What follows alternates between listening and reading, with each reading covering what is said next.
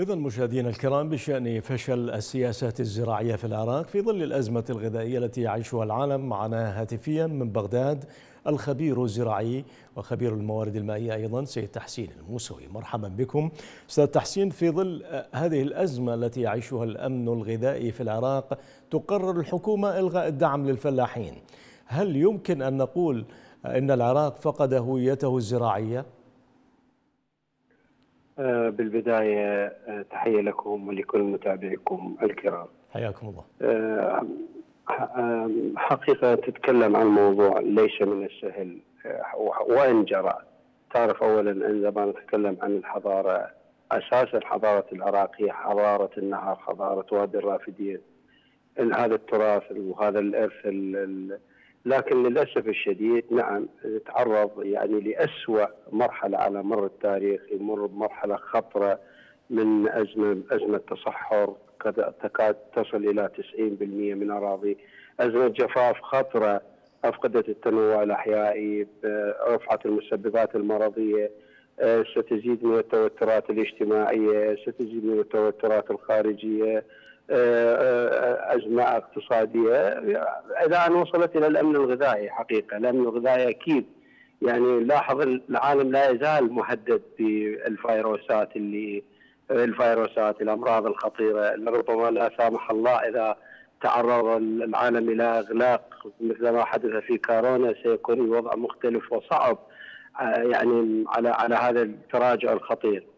اولا الملف الخارجي بالنسبة للمياه ما كان إلى أي حل من بعد 2003 فبقت السيطرة تامة على آه، حصص العراق المائية. بعد تغيير المناخ ودخول العراق ضمن خمس دول محددة بالمناخ والاخطر من هذا رفع السرية عن تقرير وكالة الاستخبارات. الأمريكية اللي أدخلت أيضا العراق ضمن 11 آه، دولة.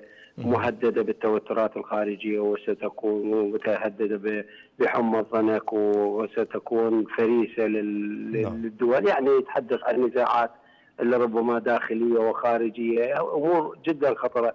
مسألة تغيير المناخ حذر علماء إنه حيستمر للعام 2040 لاحظ إحنا للسنه الثالثه على التوالي انعدام الساقطات ونعمل على المخزون وهذا المخزون أيضا بدأ ودليل يعني هي الحقيقة واضحة ما يحتاج إلى تصريح بدليل لاحظ جفاف البحيرات. بدأنا من ساوى ومن ثم الرزازة وحمرين. يعني بدينا نفقد الأراضي بالأراضي يعني لاحظ كثرة العواصف. هذا نتيجة فقدان الأراضي الرطبة. نعم. كل ما آه، تفضلت به. إلى يعني عفوا كل ما. تفضلت به لمصلحة من؟ يعني هذا القرار إلغاء الدعم اولا. يأتي كما تعلم في ظل معوقات كثيرة كما تفضلتم بذكرها الجفاف العواصف الترابية وما إلى ذلك التي ستؤدي بالنتيجة إلى هجرة الفلاحين أراضيهم. لمصلحة من هذه النتيجة البائسة في العراق؟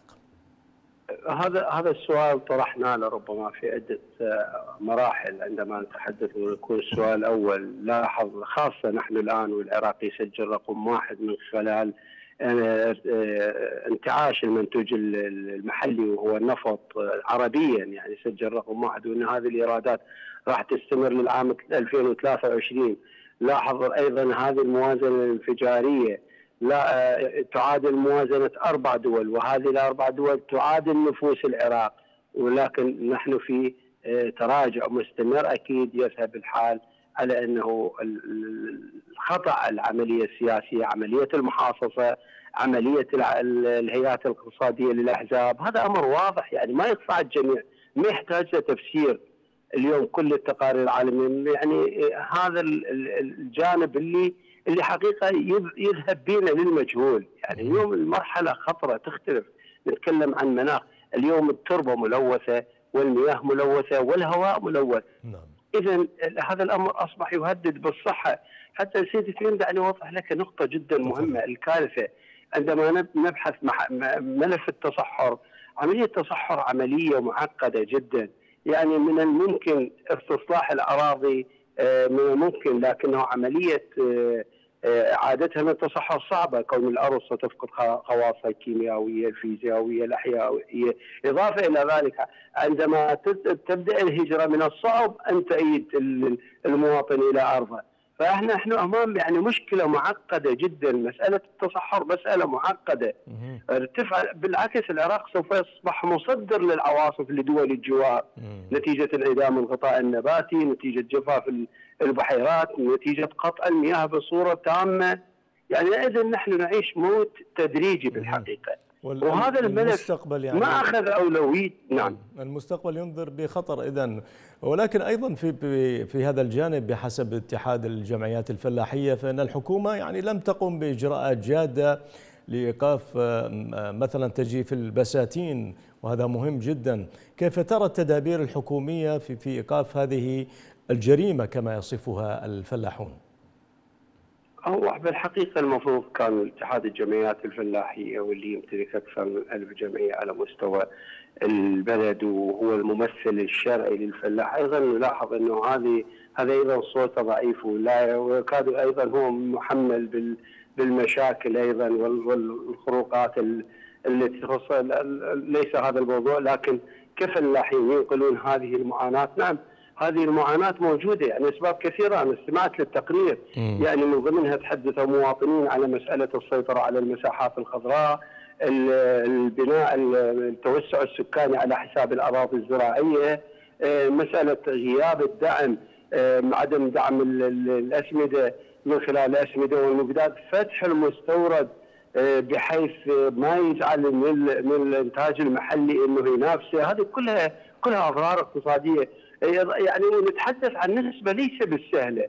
بحدود ال 50% من سكان العراق على على جانبي الفرات ودجلة يعتاشون على مهنة الزراعة. وهذا يعني سيسبب أيضا أيضا هناك خلل بالإنتاج الحيواني ليس فقط بالإنتاج نعم. النباتي. نعم. وهذا ما يرجع فقط يعني نريد نحمل وزارة الزراعة. لربما نكون ظالمين لها بحيث إنه هناك قوانين قيدت حتى وزارة الزراعة، يعني مثلا 2013 قاموا بإلغاء الإنتاج برفع عملية الإنتاج من وزارة الزراعة، أصبحت بحثية خدمية إرشادية. نعم. ومن ثم عام 2016 نقل الصلاحيات إلى المحافظات مم. بحيث أضعفت مصادر القرار، أفقدت أولويات وزارة الزراعة المائية نفسها. صحيح هذا نعم. الوضع سيء وزارة الموارد المائية أيضا, أيضاً كانت تمتلك يعني قبل 2003 كانت لديها سلطة حتى في ردع المتجاوزين. كانت لديها سلطة لصلاحيات مدير عام يصل لصلاحيات قاضي محكمة جنح هذه كلها رفعت بحيث أصبحت مسألة التجاوزات على الأراضي، تجريف البساتين، التجاوزات على المشاريع كل, كل ما تفضلت بذكره يعني نعم. أسباب أدت إلى تدهور الجانب الزراعي، أعتذر لمقاطعتك أستاذ تحسين، اذا شكرا جزيلا لك، كان معنا تحسين موسوي من بغداد خبير الزراعة والموارد المائية.